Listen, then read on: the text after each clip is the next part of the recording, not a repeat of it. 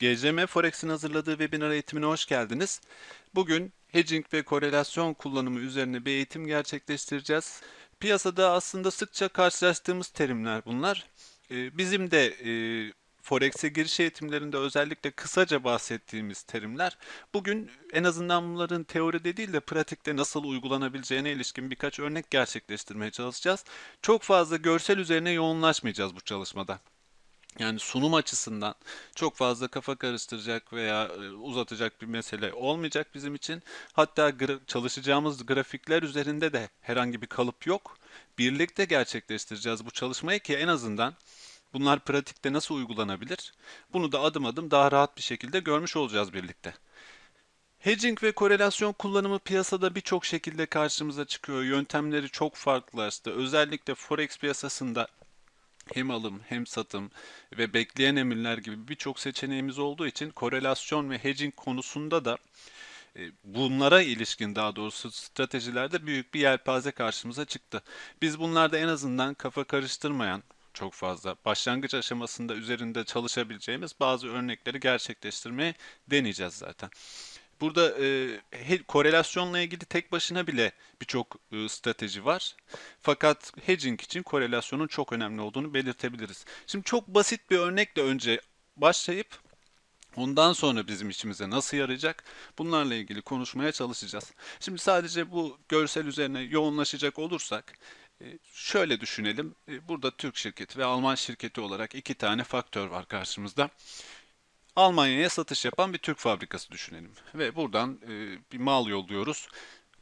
Güncel kur değerine baktığımızda 1 euronun 3 Türk lirasına eşit olduğunu görüyoruz. Bizim gönderim yaptığımız tarihte ve 100 bin euroluk bir mal satışı gerçekleştirdik. Fakat ödemesi Nisan'da gerçekleşecek.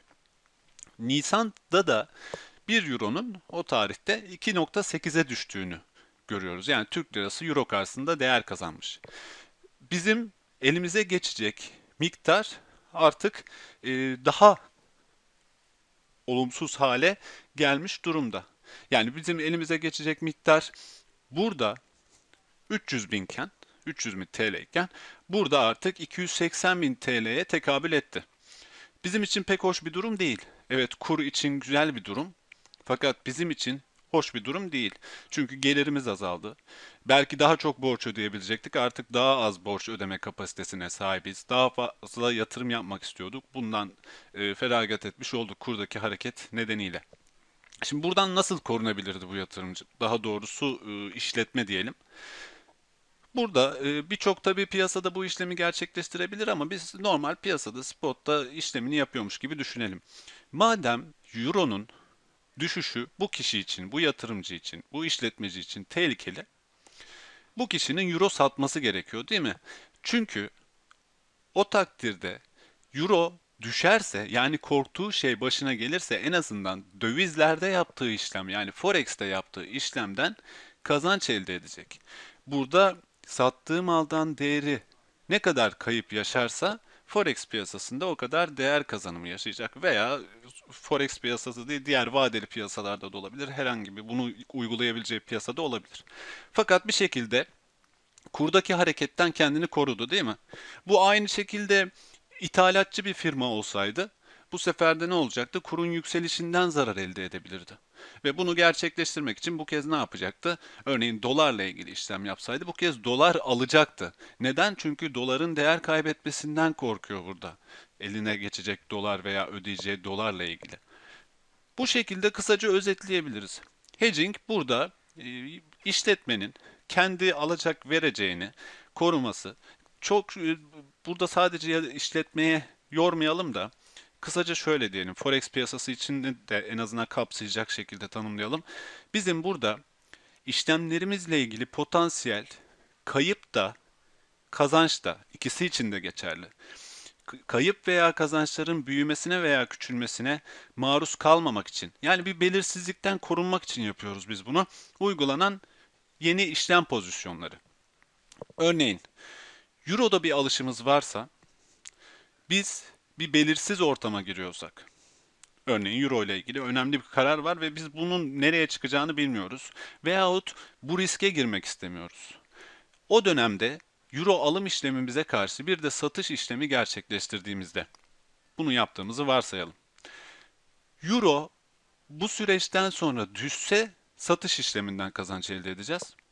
Yükselirse de alım işleminden kazanç elde edeceğiz. O yüzden hangi yöne giderse gitsin bizim herhangi bir kar veya zararımız olmayacak bu işten. Hedging'de zaten asıl amaç, ana amaç kar veya zarar elde etmek değil, bizim mevcut karımızı veya zararımızı sabit tutma amacıdır. Bunu amaçlayarak bu işlemi gerçekleştiririz. Fakat e, tabii e, belirttiğimiz gibi yeni stratejiler oluşmasıyla, e, yeni araçlar karşımıza çıkmasıyla birlikte hedging'de de kar potansiyelinin oluştuğunu, özellikle korelasyonu kullanarak çok daha faydalı işlemler gerçekleştirebildiğimizi de ifade etmekte fayda var ki bu zaten bu ikisinin kullanımı üzerinde durmaya çalışacağız. Şimdi burada bir şeyin değer kaybetmesi veya bir şeyin değer kazanmasından normal işlemler dışında daha doğrusu karşılıklı işlemlerle biz nasıl e, faydalanabiliriz? Buna göre stratejiler oluşturabiliriz. Bunun üzerinde durmaya çalışacağız. Piyasada birçok varlık aslında birbiriyle ilişki içerisinde fiyat hareketi yüzünden.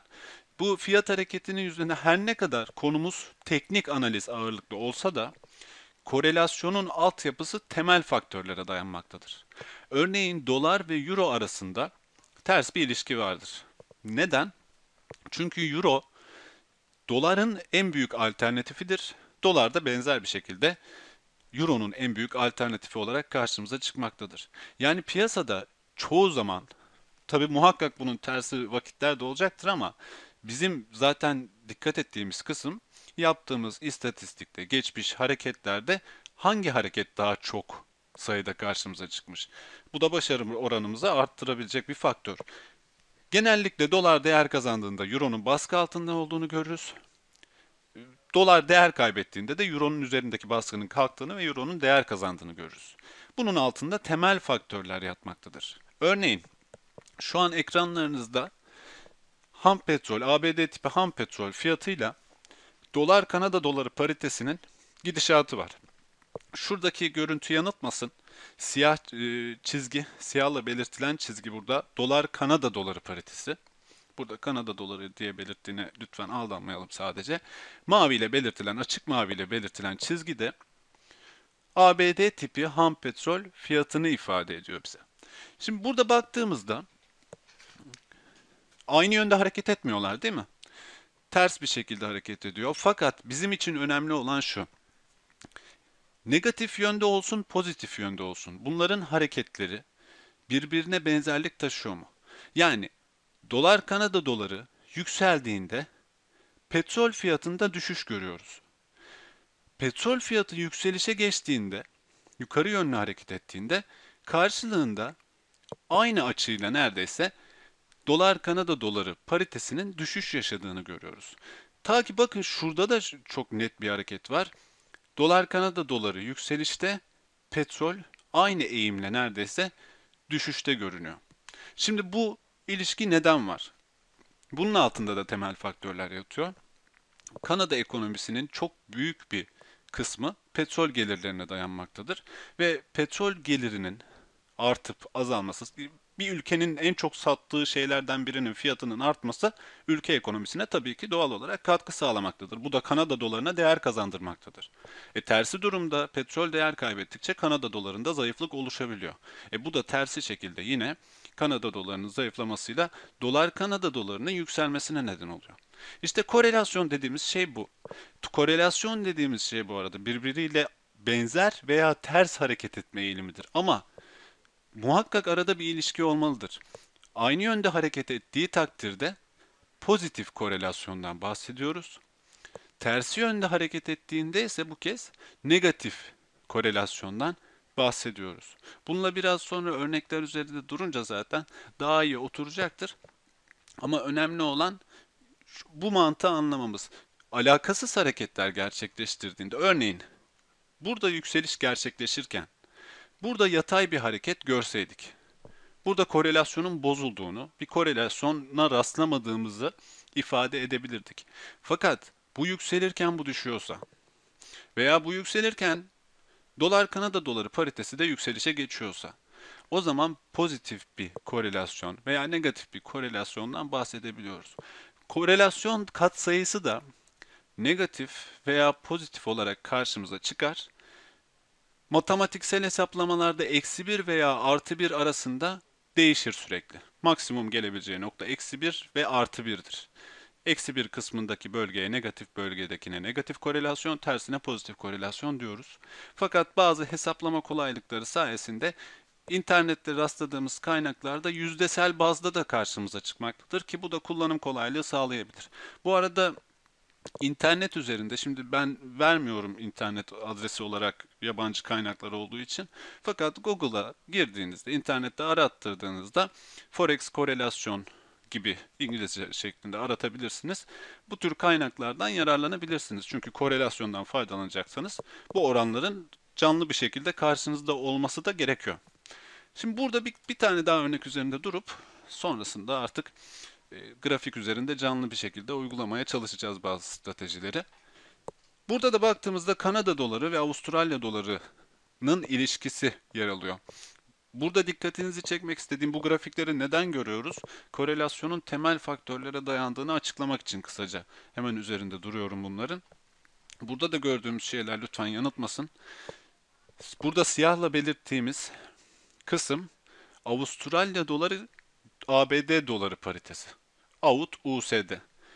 Mavi ile belirttiğimiz ise dolar Kanada doları paritesi USD CAD.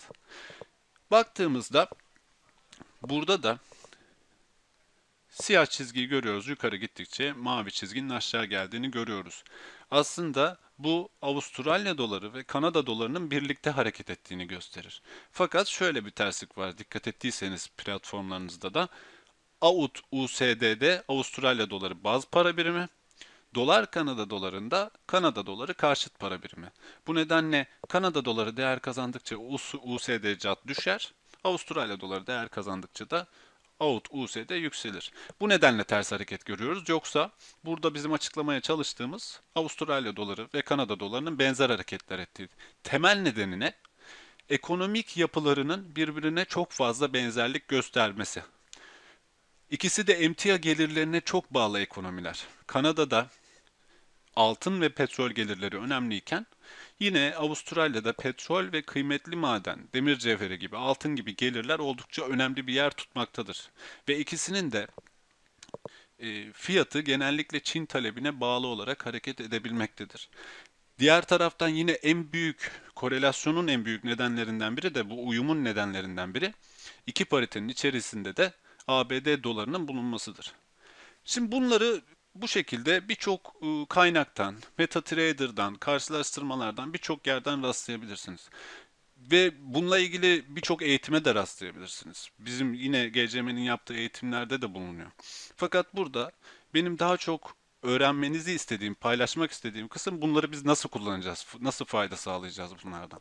Şimdi buna geçmeden önce de ıı, bir korelasyon tablosu nedir? En azından bunu görmemizde fayda var. Şimdi dedik ki e, normalde e, matematik formüllerinde eksi 1 ve artı 1 arasında değişiyor. Buradaysa 100 ve eksi 100 arasında bir değişim sergilendiğini görebiliyoruz. Şimdi dikkat çekenlere bakacak olursak. 100'e ne kadar yakınsa eksi de olabilir artı da. 100'e ne kadar yakınsa uyum o kadar çok demektir. Şimdi burada günlük korelasyonu inceliyoruz. Fakat hatırlatmak istediğim, uyarmak istediğim bir kısım var. Son 50 güne ilişkin korelasyon tablosudur bu. Yani son 50 günde aralarındaki uyum nasıldı bunu göstermekte bize. Şimdi ben e, muhakkak belki daha çok dikkat çeken olacaktır da sadece birkaç tanesini görmek istiyorum şöyle. Örneğin majör paritelerden Euro doların karşısına geçtiğimde 93 çok güçlü, 91.7, 100 zaten dikkat ettiyseniz kendisiyle. En uyumlu doğal olarak kendisiyle. Bu tabloyu internet üzerinde Forex korelasyon tablosu diye, İngilizce şeklinde de correlation table diye, örneğin Forex correlation table diye arattığınızda bulabilirsiniz. Bu ve bu tarz birçok tablo bulabilirsiniz. Euro dolar ve dolar franka baktığımda eksi 98.8 diyor. Bakın bu ne demek? Euro dolar paritesi ve dolar frank paritesi çoğu zaman bu baz aldığım son 50 günün çok büyük bir kısmında sürekli ters hareket etmiş neredeyse.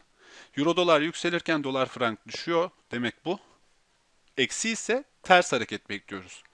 Dolar frank yükseliyorsa euro dolar düşüyor olarak yorumlayabiliriz. Şimdi buraya kadar tamam zaten. Hani bu kısma kadar zaten birçok şey kolay. Yani aralarında tamam bir ilişki var.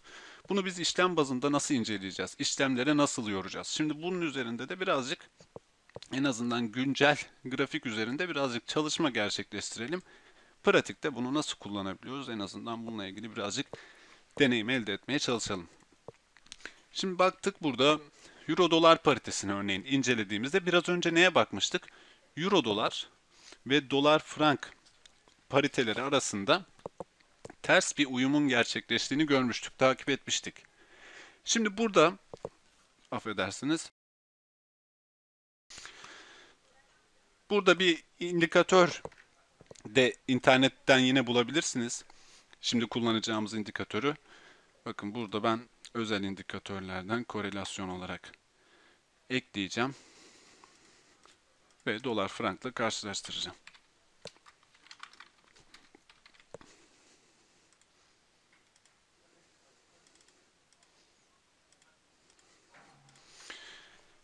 Bu arada Forex korelasyon e, indikatörü yine İngilizce şekilde internette arattığınızda çok rahat bir şekilde bulabileceğiniz bir indikatör. İndikatörü nasıl platformumuza ekleyeceğiz onu da hemen açıklayayım. İki tane dosya inecek sizin.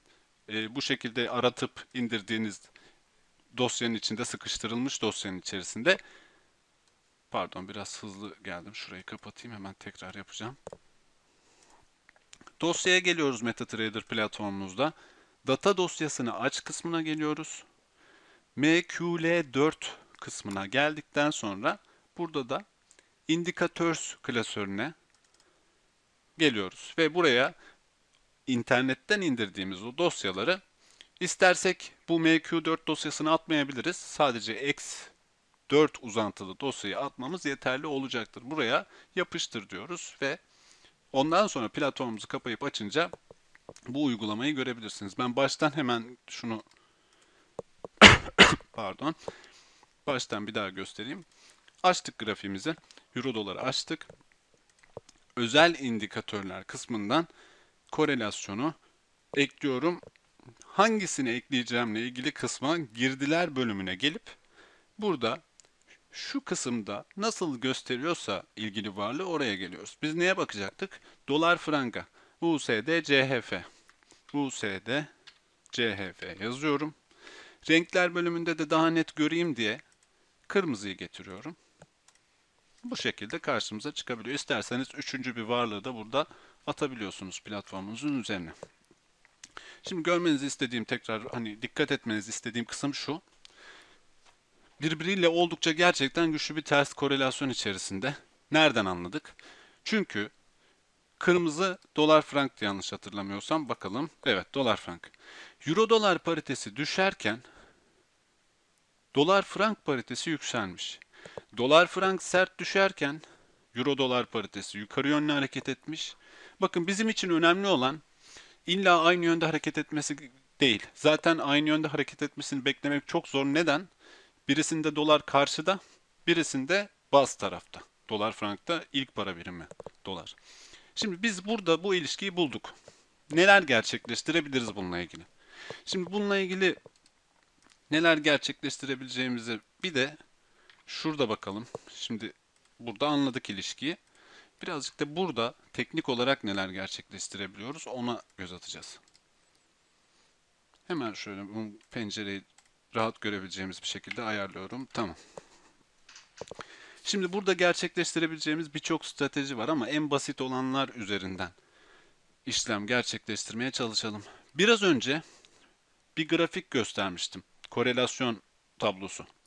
Korelasyon tablosunda işte 98.8 veya 98 diyordu. Şu incelediğimiz iki varlık arasındaki günlük mumlara göre, günlük kapanışlara göre uyumu. Şimdi bu her zaman aynı şekilde devam edecek diye bir şey söz konusu değil. Fakat 50 gün gerçekten hani yeterli istatistiği toplayabileceğimiz bir zaman dilimi. Demek ki genel olarak euro dolar, dolar frank oldukça yakın bir ilişkiye sahip. O zaman şöyle yapabilir miyim? Bu ilişki diyelim ki 80'e düştü. Yani euro dolar yükselirken dolar frankın buna uyumlu olan hareketleri azaldı. Fakat ben biliyorum ki genelde euro dolar ve dolar frankın gerçekten sıkı bir ilişkisi var. Şu an sadece dediğim yönde senaryoda bir hareket olmuş gibi bahsediyoruz. Diyelim ki bu hareket birbirine ters bir hareket gerçekleştirdiler. Euro dolar dedik ki yükseldi. Dolar frank da yükseldi.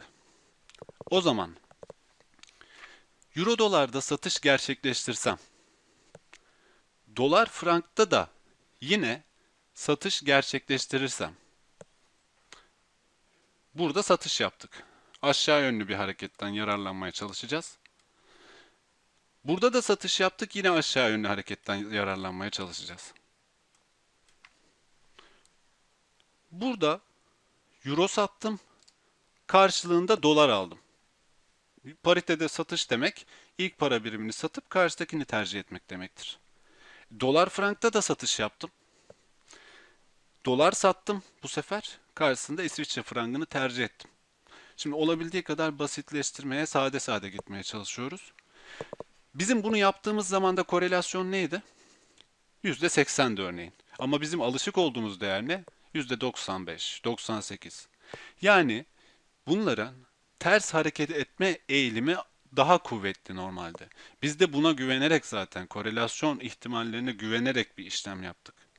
Şimdi diyelim ki Euro dolar paritesi artık düşmeye başladı. Bu işlemin bizim için kar getirici bir özelliği karşımıza çıktı diyelim. Düşüyor.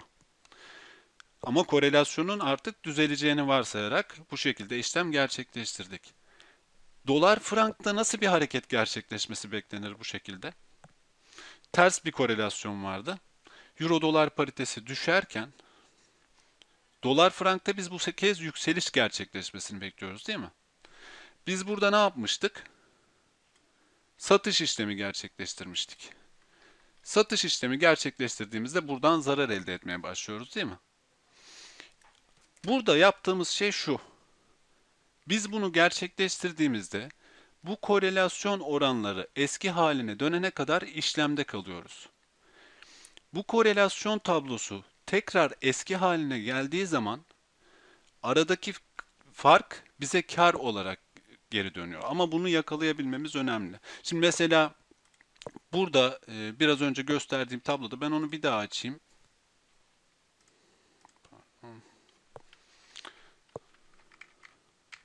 Bu günlük. Günlük bazda demiştik. İnternette araştırdığınızda ve çok kolay bulacaksınız. Hani dediğim gibi Forex Correlation Tables diye yazdığınızda karşınıza liste halinde çıkacak birçok kaynak zaten. Burada 5 dakikalık daları da bulacaksınız. Bir saatlikleri de, günlükleri de. Özellikle denemelerinizi, hani ilk denemelerinizi 5 dakikalıklar üzerinde yapmaya çalışın. Ama önce şu tabloyu bir hafızamıza kazıyalım. Hatta işte günlükleri işaretleyelim hangileri uyumluydu. Sonra 5 dakikalıklara geçip bu oran azaldığı zaman bu görünümü tekrar kullanmaya çalışalım. Oldukça aslında hani deneme açısından, öğrenme açısından en basit stratejilerden birisi. Önce güçlü korelasyona sahip iki tane araç buluyoruz. Sonrasında bu korelasyonun uyumsuz, daha doğrusu zayıfladığı bir süreci buluyoruz. Zayıfladığı süreçte artık ters işlemi gerçekleştiriyoruz burada. Ama korelasyon eksi 98 değil de artı 94 olsaydı ne olacaktı? Bu kez aynı yönde işlem. Çünkü aynı yönde hareket edeceklerdi ve ters işlem gerçekleştirmemiz gerekecekti. Bakın ben tekrar burada şurayı açmak istiyorum. Şimdi baştan alıyorum burada durumu. Bizim euro dolarla dolar frank arasında ters bir korelasyon olduğunu görmüştük biraz önceki tabloda. Bakın burada yukarı yönlü hareket ettiğinde son, son mumlara bakıyorum. Saatlik grafikte inceliyoruz. Burada ne yapmış? Düşmüş. Tamam. Şimdi burada herhangi bir ayrım olmadığı için şu an net bir şekilde göremiyoruz ama burada diyelim ki ayrım olan bir kısım bulmaya çalışalım hemen. Şöyle baktığımızda çok büyük bir ayrım da yok ama e,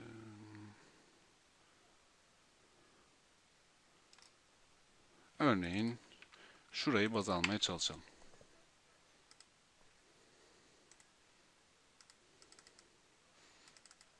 Tabi ayrım ya olan yeri de işaretlememizde fayda olacak.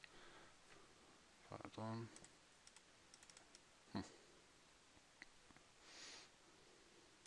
Evet, aynı yerleri bulduk sanırım. Ya en azından burada biraz daha farklılaşma olduğu için belki daha rahat kullanabiliriz. Tamam, burada da işaretledik. Şimdi burada aynı yerdeyken ikisinin de dikkat et. Şunu kaldırıyorum bu arada. Görüntüyü bozacak çünkü. Euro dolar paritesinde şu mumda aşağı doğru hareket gelirken burada sınırlandığını görüyoruz. Çok küçük bir sapma var. O kadar güçlü ki korelasyon sapma küçük gerçekleşmiş. O yüzden şuraya bir mumu biraz daha büyütüp göstereceğim. Şurada. Bakın buraya spike gelebilmiş. Aynı mumda spike gelmemiş. Şimdi burada korelasyonun azaldığını göreceğiz ama çok kısa vadeli 5 dakikalık gibi korelasyonlarda bunu gör, ancak görebiliriz. Bunu belirtmekte fayda var. Şimdi burada bir düşüş gerçekleşti. Bizim normalde gördüğümüz şey ters yönlü hareketlerdi değil mi? Yani euro dolar yükselirken veya düşerken dolar frankta bunun tam tersi hareket görüyorduk. O zaman euro dolar paritesinde örneğin alış gerçekleştirdiğimizde bu hareketin tekrar uyumlu olacağını, tekrar uyumlu, daha uyumlu hale geleceğini düşünerek dolar frankta da satış gerçekleştirmemiz gerekiyor. Çünkü ters bir işlem yapacağız. Daha uyumlu hale geldiğini farz ederek işlem gerçekleştireceğiz. Ve daha uyumlu hale gelebilmek için bundan sonra euro doların yükseliş eğilimi bir kademe daha yüksek olabilir buradaki düşüşten. Yani burası örneğin yüzde ikilik e, aşama kat ederken burası yüzde birlik bir aşama kat edebilir. İşte zaten bu ivme farkı yüzünden biz bu korelasyon tekrar bir araya gelene kadar kazanç elde edebiliriz. Bu çok büyük bir kazanç anlamına gelmesin kesinlikle. Normal standart bir işlem yaptığımızda çok ufak kazançlar karşımıza çıkacak. Fakat bu bir strateji zaten. Hani hadi bugün hedging yapayım işte korelasyondan yararlanarak bir işlem gerçekleştireyim değil. Tüm işlemlerini, tüm işlem planını, stratejilerini buna göre gerçekleştirmek ve internette örneğin buna göre işlemlere, geçlem geçmişlerine baktığınızda örneğin bir lotluk işlemler gerçekleştiren yatırımcılar hep e, o bilançosuna baktığınızda, son görünümüne baktığınızda 20 dolar, 30 dolar, her işlemde 100 dolar, 200 dolar gibi maksimum hani bu tarz kazançlar elde ettiğini göreceksinizdir. Zarar elde edilmiyor mu? Muhakkak ediliyor. Neden? Siz burada %80 korelasyonu örneğin daha doğrusu 80 puanlık korelasyona düştü. Düzelir dediğiniz kısımda hemen düzelmeyebilir. Bu da bizim negatif bölgede kalma eğilimimizi de çoğaltabilecektir. Bu nedenle olabildiği kadar işlem yapacağımız varlıklar arasındaki ilişkiyi yakından incelememiz gerekiyor. Ben hemen birkaç tane daha stratejiden bahsedeceğiz ama özellikle daha yavaş yavaş anlatarak geçmeye çalışacağım bu arada. Dikkat etmemiz gereken şu. Bunların altında temel faktörler yatıyor dedik ve e, piyasa algısı sürekli değişebilen bir şey. E, bugün aynı olan faktörler yarın aynı olacak diye bir şey yok. Altın 5 yıl önce güvenli limanken bugün güvenli liman diye veya 10 yıl önce güvenli limanken bugün aynı özelliği taşımıyor olabilir. Veya yen için aynı şeyi söyleyebiliyorken şimdi benzer bir şey söyleyemeyebiliriz. Yani 5 yıl önceki korelasyon bugün de geçerli olacak diye bir şey yok ve şunu da bilelim. Zaten korelasyon %100 başarı kazandırmaz. Böyle bir şey olsa herkes bunu uygulardı. Bu sadece e, istatistiksel olarak bizim başarı oranımızı arttırabilecek bir strateji yöntemi sadece. E, bunun dışında şu özellikle önemli. Bugün örneğin FOMC beyanatı var. Şimdi FOMC beyanatında temel faktörlerin derinden etkilenebileceği, para politikasına ilişkin görüşlerin derinden etkilenebileceği bir süreçte özellikle ilk gerçek işlemimizi bu şekilde gerçekleştirmek oldukça sakıncalı olabilir. Çünkü e, örneğin euro dolarla normalde dolar frank veya euro sterlin arasında bir korelasyon varsa bile yatırımcı tercihleri o an alışılagelmişin dışında gerçekleşebilir. Yani Euro'dan çıkan illa doları seçmeyebilir veya dolardan çıkan illa Euro'yu seçmeyebilir. Bu bizim geleneksel olarak son dönemlerde gördüğümüz tabloya ilişkin rakamlardır verdiğimiz o e, tablodaki gördüğümüz şu rakamlar. Bu nedenle genellikle temel faktörlerin çok bu kadar kritik bir şekilde yoğunlaşmadığı zamanlarda uygulamamız çok önemli. Aksi halde oldukça yanıltıcı hareketler yaşayabiliriz. E, özellikle zaten her şeyde diyoruz teknik analizi gerçekleştirirken temel faktörleri muhakkak göz ardı etmeden işlemlerimizi gerçekleştirmemiz gerekiyor. Ben öncelikle sormak istiyorum bu kısma kadar takıldığımız bir yer oldu mu? Şu özellikle korelasyon farkının açılması ve kapanması sırasında neden birisinde satış, birisinde alış yaptığımızı açıklayabildim mi tam? Bu kısımda bir sorun yaşadık mı? Question bölümünden görüşünüzü bildirirseniz üzerinde belki tekrar durabiliriz konu soğumadan.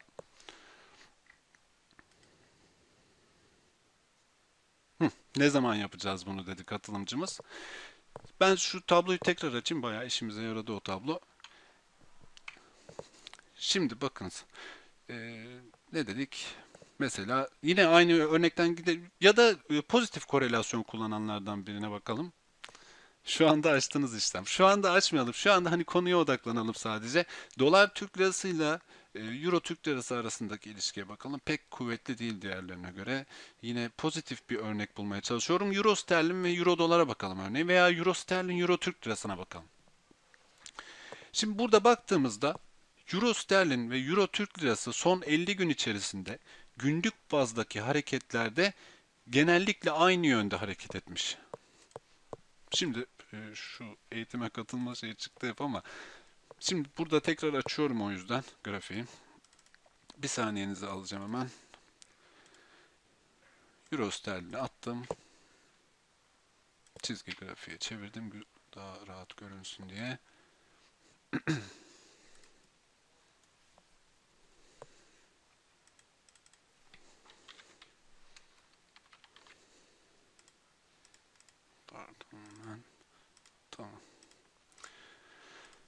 Şimdi Euro sterlin, kırmızı çizgi Euro Türk lirası. Birbirine genellikle uyumlu hareket etmiş değil mi? Özellikle günlük bazdaki uyum daha iyi.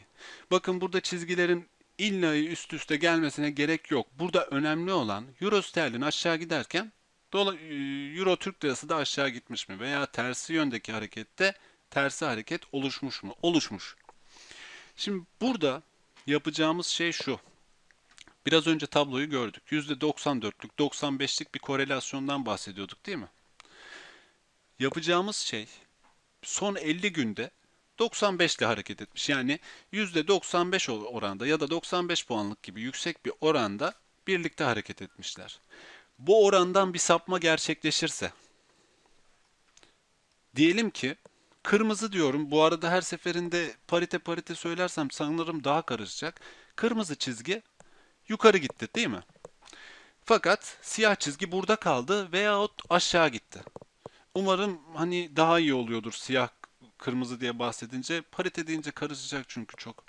E, yukarı geldi. Bu da bu sabit kaldı. Yani aradaki uyum bozuldu. 95'ti. 60'a indi. 70'e indi. Buraya kadar umarım sorun yoktur. Aradaki uyum önceki dönemlerde de bazen rastlayabileceğimiz gibi bozuldu. Ama bizim alışık olduğumuz şey neydi? Bakın şuraya örnek verelim madem bulalım. Şurada ayrılmış değil mi? Bu yukarı giderken bu aşağı gitmiş. Çok da güzel bir örnek oldu bizim için. Şu tabloda şu kısımda bir karışıklık yaşayan var mı? Şurada bir ayrışma olduğunu hepimiz görüyor muyuz?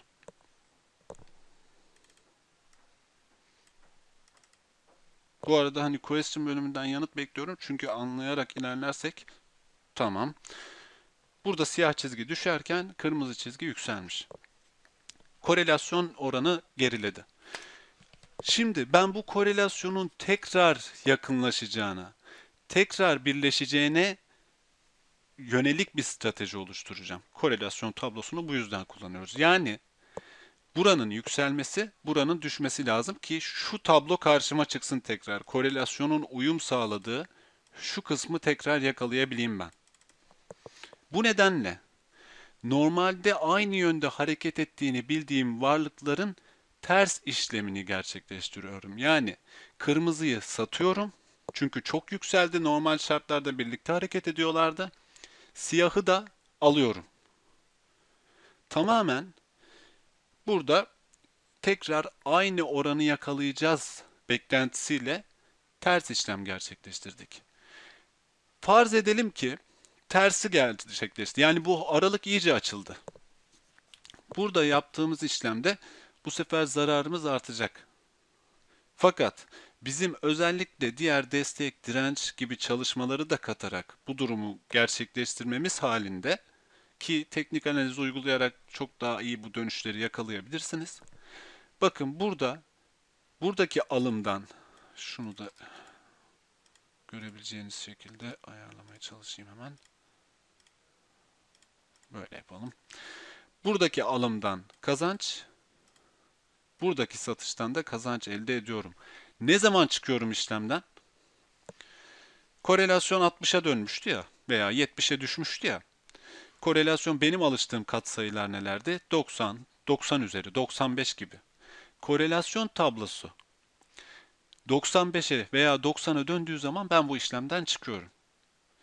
Ve o alanda da bir kazanç, ya şu alandan, ben şu alandan yararlanmış oluyorum iki paritenin de katkısıyla.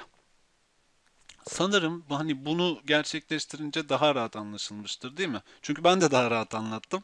Muhtemelen hani örnek yakalayınca daha iyi oldu. Bakın şimdi mesela katılımcımız biz gerçekleştirirken bunu denemiş 30 dolar kar elde etmiş iki işlemde de şunu söylemek istiyorum sadece. Bu dediğim gibi hani zaten önemli stratejilerden biri olmasa bir eğitim gerçekleştirmeye değmez zaten de şu riski unutmayalım. Bakın bu doğru yerde yakalayamazsak yanlış bir harekete de giriş sağlamış olabiliriz. Şu an sadece bir örnek, bayağı kabaca bir örnek yaptık. Hani destek direnç çalışmalarıyla bunu kombine bir şekilde kullanmamızda fayda var. Hatta indikatörlerle. Şimdi bu en basit stratejilerden birisiydi. Bir de şöyle bir e, daha karışık hale getireceğiz birazdan ama şimdi öncelikle ben bir basit stratejimiz daha var. Ondan da bahsetmek istiyorum. Aslında yine birazcık ayrışmalarla da ilgili ama şöyle gelelim. Yine e, çok hani arayış içine girmeyelim, vakit kaybetmeyelim diye dolar, frank ve euro doları kullanıyorum. Birbirleriyle uyumlu oldukları için çok. E, korelasyon tablosu güncel halde şimdi kaynak vermem yanlış olacak diye veremiyorum. Ama e, correlation table diye şu şekilde ben yazayım buraya.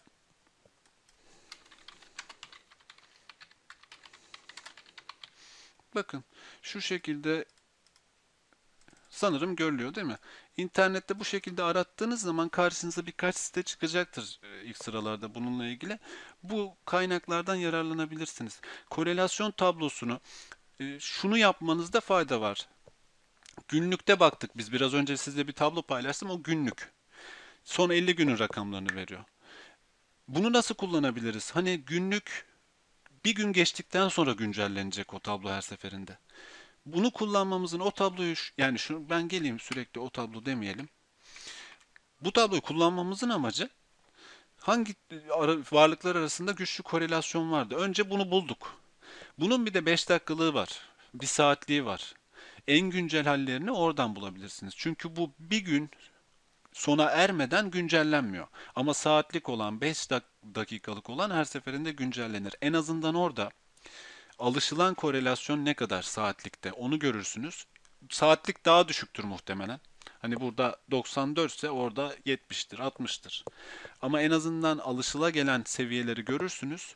O seviye aralığı işte korelasyon azaldıkça işlem stratejisi deneyip tersi durumda tekrar eski haline geldiğinde çıkış sağlayabilirsiniz. Evet şimdi şuraya tekrar dönüyorum. diğer yani basit e, başlangıç aşamasındaki stratejilerden birisi de şimdi bakacağımız güçlü korelasyona sahip iki tane pariteyi buluyoruz yine. Şimdi burada yapacağımız şey çok büyük mesafeler kat etmeden yani benzer mesafelere sahip önemli seviyeleri bulmaya çalışacağız ilk. Ama şu an bunu kabaca yapmaya çalışacağım. Hem vaktinizi almamak için hem daha konuyu soğutmadan e, bahsedebilmemiz için.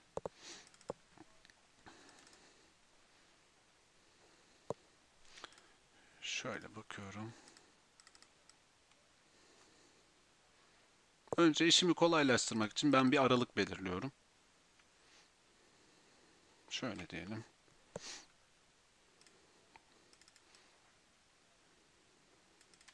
Tamam, aralıkları belirledim. Şimdi ben euro dolarla dolar frankın nasıl hareket etmesine alışım ters. Yani euro dolar yükselirken dolar frankın düşüş yaptığını görüyorum genelde. Bu hareketlere alışmıştık. Şimdi burada benim bir beklentim olması gerekiyor öncelikle. Şurada baktığımızda hani euro dolarda euro dolar daha rahat bir resim sunmuş. Yükselişe devam edebilirmiş gibi örneğin. Şimdi burada yapacağım şey burada şu noktaya bunlar bekleyen emirlerle gerçekleştirilecek bu arada. Kalınlaştırıyorum çizgiyi ki bekleyen emir nerede girdik. Diyelim ki bizim paritemiz euro dolar sıkıştığı yeri aştı. Ve burada yukarı yönlü hareketine katılım sağladık biz. Şimdi benzer bir şekilde buradan yükseliş gerçekleşirse burada ne olacak? Düşüş gerçekleşecek değil mi? Burada düşüş gerçekleşecek ama bizim burada tersi yönde bir ihtimale hazırlanmamız lazım. Zaten aynı yönde hareket etmelerine doğru işlem yaparsak iki katı zarar elde edebiliriz. Bu ayrımı lütfen iyi yapalım. Yani ters korelasyona sahip bunlar. Şunu açıklarsam daha iyi olacak. Diyelim ki ikisinde de şu seviyelerin aşılmasına yönelik işlem yaptık biz. Burası aşıldı aldık. Tamam. Burasının aşılması demek doların değer kaybetmesi, euronun değer kazanması demek değil mi? Buraya kadar hemfikirizdir. Sorun yok zaten. Buradaysa doların değer kazanması İsviçre frangının değer kaybetmesine ilişkin bir hareket olmuş demektir. Yani burada dolar değer kaybedecek, burada dolar değer kazanması gerekiyor. Bizim işlemlerimizin karlı olması için. İşte burada yaptığımız şey de zaten korunma işlemi. Euro dolarda yükseliş, dolar frankta yükseliş. İkisinin de olması için e, bizim e, daha sabit bir kâra razı olmamız gerekiyor. Bu kısmı açıklayabildim mi? Şöyle tekrar söylüyorum. İki tane bekleyen emir yerleştirdik. Sıkışan bir alandan çıkışa yönelik bir beklenti oluşturduk. Şurayı belirtiyorum.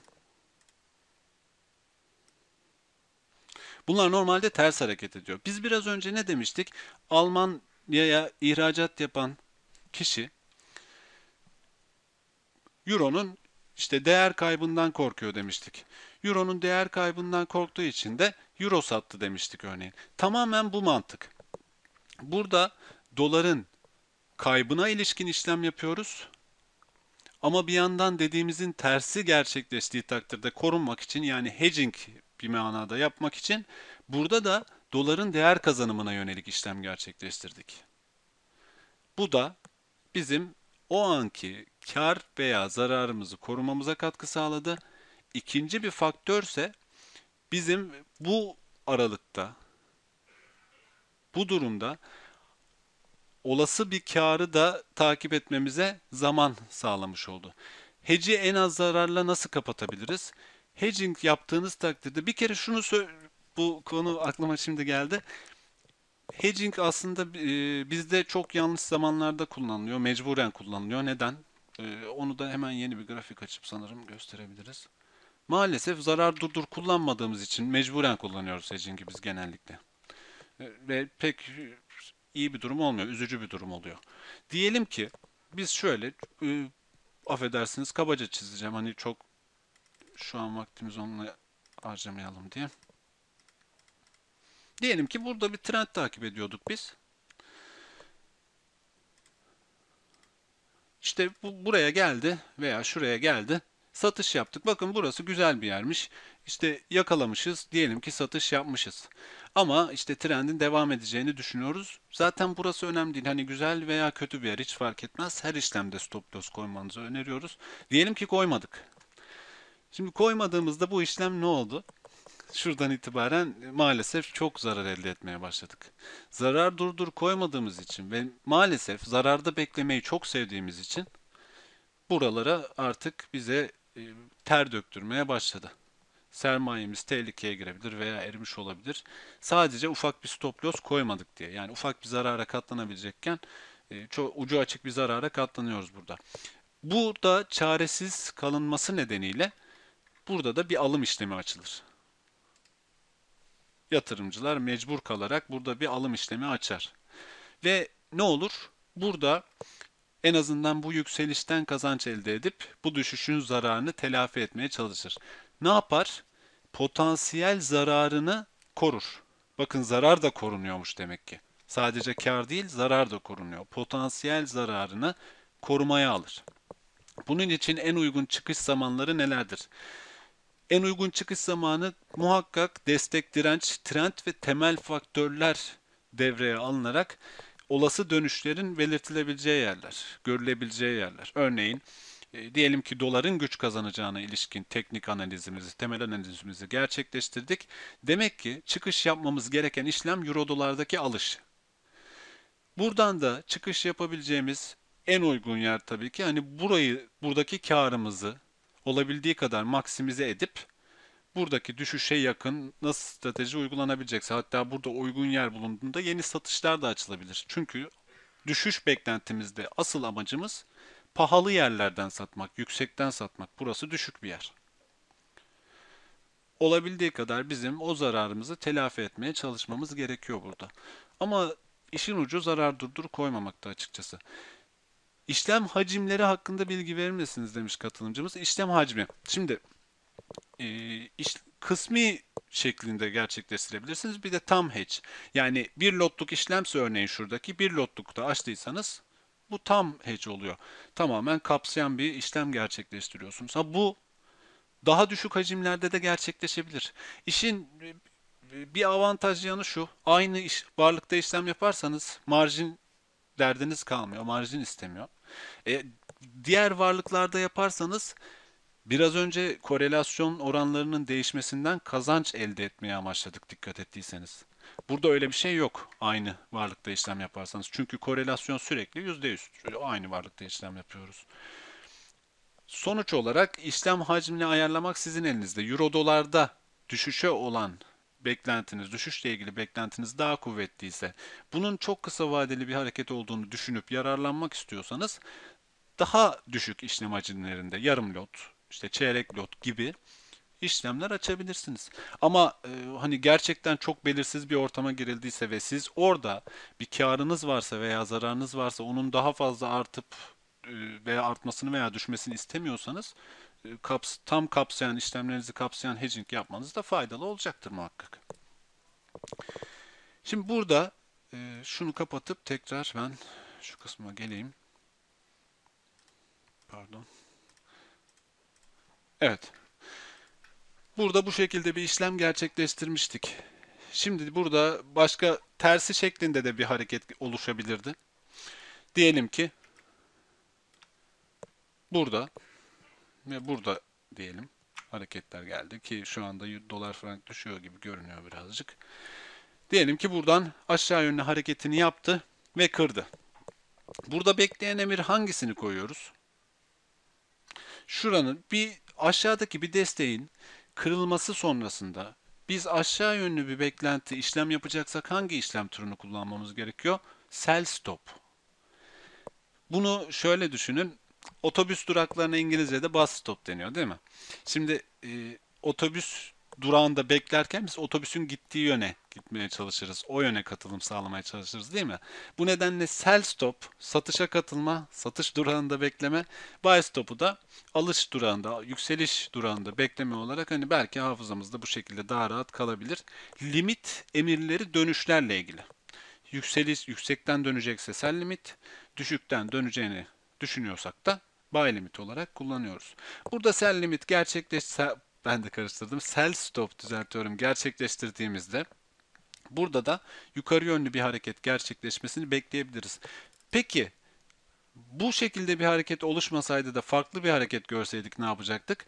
O zaman yine ters işlemimizi gerçekleştirip korelasyonun yine güçlü hale geldiği yere kadar işlemimizi açık tutmaya çalışacaktık. Şimdi şöyle bir e, şeyde açıklamak istiyorum. Yine görsele boğmadan anlatalım. Biz iki tane şimdi farklı parite üzerinde işlem gerçekleştirdik. Bir de bunun şöyle bir e, daha ileri yönde stratejiler var. Buraya girmeyeceğiz ayrıntılı bir şekilde. Sadece hani üretebileceğimiz diğer çözüm yöntemleri olarak karşımıza çıkıyor. Burada 3 tane, 4 tane, 8 tane birçok parite üzerinde işlem gerçekleştirebilirsiniz. Bu işi kolaylaştıracak şey nedir? Hemen şurada şöyle yapayım. Diyelim ki bir parite sterlin dolar. Sterlin dolarda ne yaptık? Satış. Yani ben burada ne yaptım? Sterlin sattım, dolar elimde tuttum. Şimdi bir şekilde bunu benim telafi de etmem gerekecek. O zaman ne yapacağım mesela? Yine birbiriyle kuvvetli olabilecek paritelerden biri, ilişkisi olabilecek paritelerden biri dolar frank. Şimdi benim bu riskten birazcık olsa kurtul birazcık da olsa kurtulabilmem için bu kez dolar satmam gerekiyor değil mi? Pardon. Dolar sattım. Şimdi yavaş yavaş denge kurmaya çalışıyoruz bakın. 3 tane para birimi kullandık. Sterlin, dolar, dolar e, İsviçre frangı. Sterlini sattık. Dolar burada sattık ama burada dolar e, pardon doları aldık burada. Burada dolar sattık, doları fitleştirdik zaten. Burada sterlin e, İsviçre frangı aldık. Şimdi burada da işlemimizi düzeltebilmek için ne yapıyoruz? Bir de GB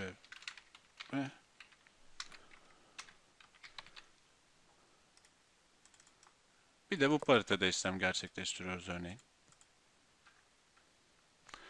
Bunda ne yapıyoruz?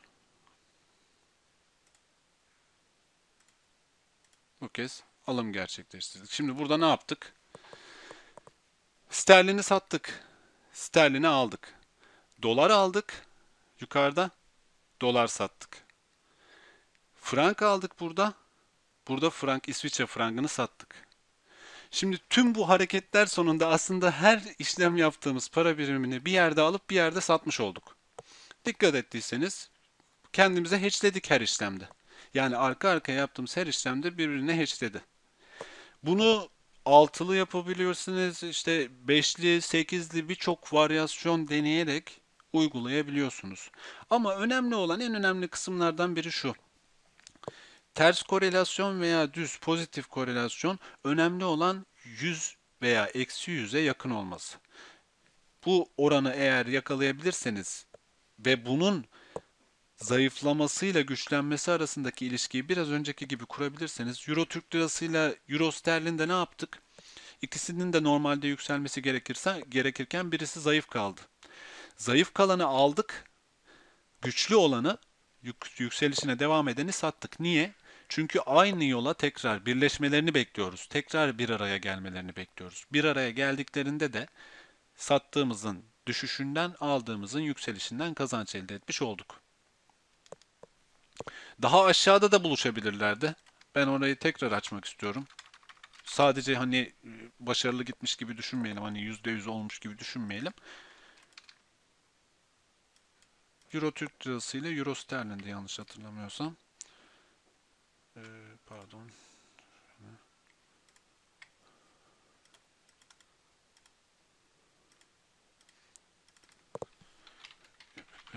Tamam. Şurada bakmıştık değil mi? Evet buradaydı. Sanırım. Şöyle açsak.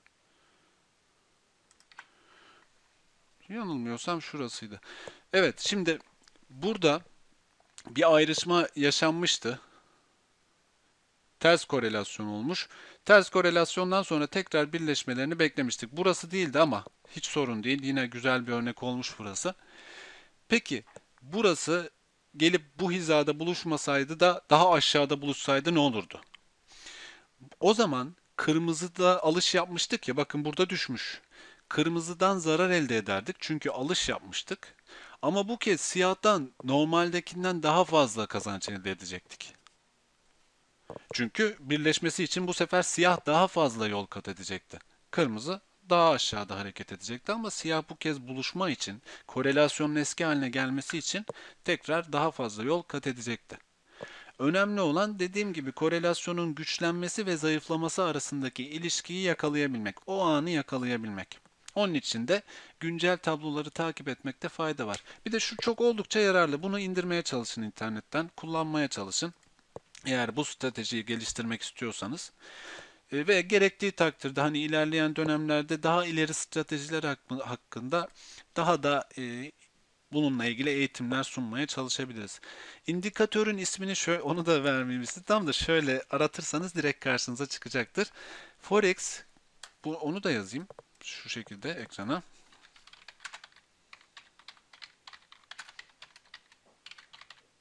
Bu şekilde yazarsanız internette direkt bulabilirsiniz. Zip dosyası olarak karşınıza çıkacaktır. Zip dosyasının içinde de iki tane e, dosya göreceksiniz. İsterseniz ikisini de atabilirsiniz. Nereye attığınızı da tekrar göstereyim. Data dosyasını aç diyoruz. Dosya kısmına gelip MetaTrader'da. Açılan kısımda MQL4. Onun içinde indikatörler. Buraya yapıştırıyoruz. Grafiklerin birleştiği noktayı referans aldığınız takdirde de bir strateji geliştirebilirsiniz. Ne, ama o zaman ters korelasyonu bulmanız gerekiyor. Neden biliyor musunuz? Mesela e, çok basit bir örnek vardı artık MetaTrader'ı kapıyorum şurada. Diğer kısmı açacağım. Ters korelasyon gerekiyor. Neden? Bakın Avustralya doları dolar paritesiyle dolar Kanada doları paritesi. Mesela birleşti ya burada. Ya kesişti. Ters korelasyondaki iki varlık kesişti. Burada dolar e, Avustralya doları dolarda alım, dolar Kanada dolarında satım gerçekleştirebiliyorsunuz örneğin. Bu biraz daha e, ucu açık bir strateji aslında. Çünkü e, aslında ters işlemler gerçekleştiriyorsunuz veyahut şunu denersiniz. Bu çok daha mantıklı olacak. En azından hedgelemiş olacaksınız. Kesiştiği zaman Avustralya doları dolarında ve dolar Kanada dolarında alım gerçekleştirebilirsiniz. Çünkü e, kesiştiği anda bu iki paritede ters işlem yaparsanız zaten ikisinde de örneğin doların değer kazanımına veya doların değer kaybına yönelik bir işlem yapmış oluyorsunuz. Hiçbir anlamı kalmıyor. Hedgelemiyorsunuz kendinizi. Grafikler birleştikten sonra takip edebilirsiniz ama benim belirttiğim stratejide yaptığımız şuydu. Grafikler birleşiyor ya, biz grafiklerin ayrıldığı yerleri izliyoruz. Çünkü ayrıldıktan sonra tekrar birleşeceğine ilişkin işlem stratejisi belirliyoruz. Çok yoğun olarak kullanılanlardan birisi bu. Çünkü basittir de belirttiğimiz gibi. Ama bunun dışında hiçbir korelasyona bakmayıp bakın şurada biraz önce belirttiğimiz vardı ya e, MetaTrader üzerinde aslında orada hiç öyle korelasyon tablosuna falan bakmıyoruz. Orada yaptığımız tek şey aynı para birimini bir paritede alıp bir paritede satmak. İşte Euro'yu aldık, aman pardon sterlini bir paritede aldık, bir paritede sattık. Frank aynı şekilde keza. Bu şekilde stratejiler geliştirilebilir. İhtiyaç duyduğunuz takdirde hani şu an eğitimi verme amacımız başlangıç aşamasında en azından tablo nedir? Fiili olarak nasıl kullanılır? Hani birçok eğitimde tablo anlatılıyor zaten. Böyle bir tablo var. Tamam uyumu anladık ama nasıl kullanabiliriz? En azından basit stratejiler bunlar. İhtiyaç duyduğunuz takdirde, talep olduğu takdirde ilerleyen dönemlerde bununla ilgili ileri teknik stratejilerde uygulamaya çalışabiliriz. Bununla ilgili eğitimler vermeye çalışabiliriz. Konuyla ilgili, bu konuyla ilgili sorularımız var mıydı? Benim anlatacaklarım bu kadar çünkü.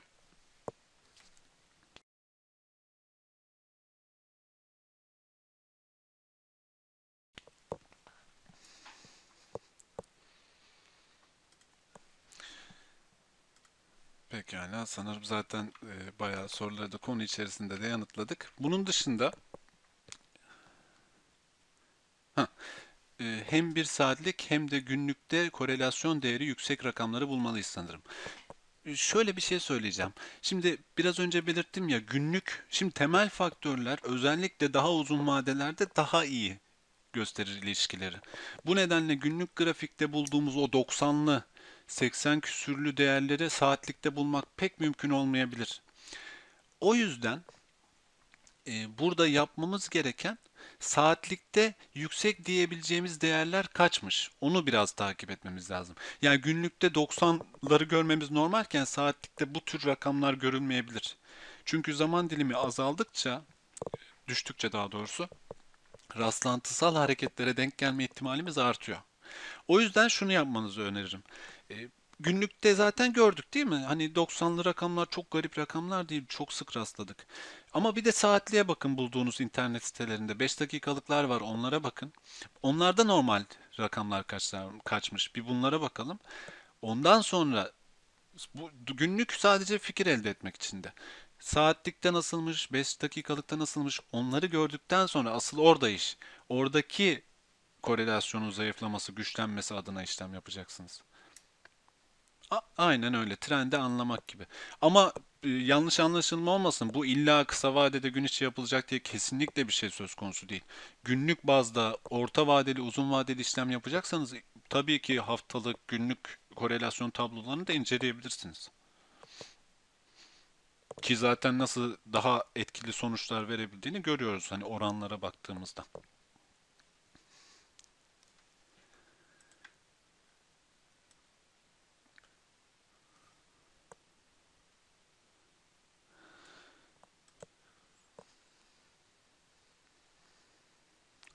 Elimizde 10 bin dolar varsayalım nakit. Forex'te değerini düşüşlere karşı veya nakit olan e, okunmamış o karakter ama düşüşleri Forex'te nasıl koruyabiliriz? Şimdi elinizde 10 bin dolar varsa sizin tedirgin olduğunuz şey ne? Doların düşmesi değil mi? Doların korktuğunuz şeye ilişkin işlem yapacaksınız. Yani dolar Türk lirasında satış gerçekleştireceksiniz. Ama kaldıraç oranı olduğu için elinizdeki paranın yüzde biri oranında burada satış gerçekleştireceksiniz. Fakat şuna da dikkat etmekte fayda var.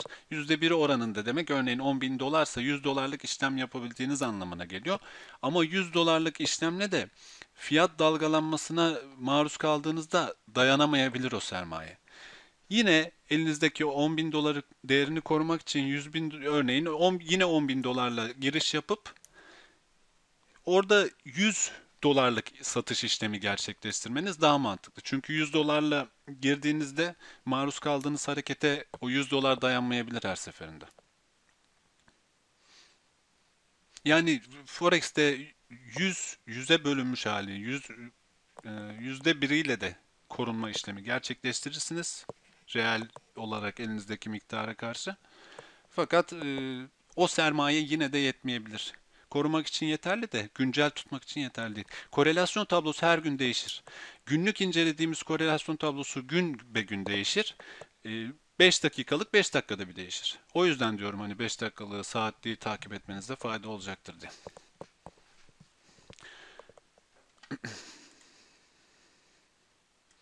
Evet soruları bitirdik gibi görünüyor.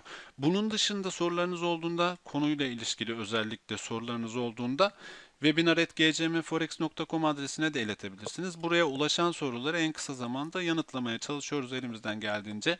Ben katılımınız için, ilginiz için çok teşekkür ediyorum hepinize. Herkese başarılı işlemler diliyorum.